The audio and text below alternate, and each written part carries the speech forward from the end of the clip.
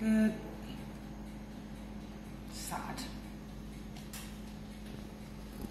Sad, sad, sad, sad. yeah.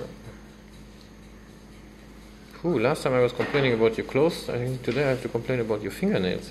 Oh, Huh? yeah. Last time it was clothes, now it's fingernails. Yeah, we worked on the clothes, but we have to. clothes is better now. Still not perfect, I would say, but it's getting better. Now fingernails. Oh, something. Really. Never gonna get it right, am I?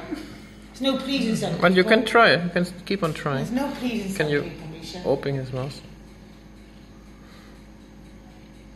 You see what I see, Layla? He has a fish bone stuck in there, and it looks like it has been stuck for a while. I have to try to pull it out. Does he? Mm. Oh, bless him. His tooth. You see how it's sore here? Oh. So, Tja. Tja, yeah, yeah. I think we should consider the injection that always works.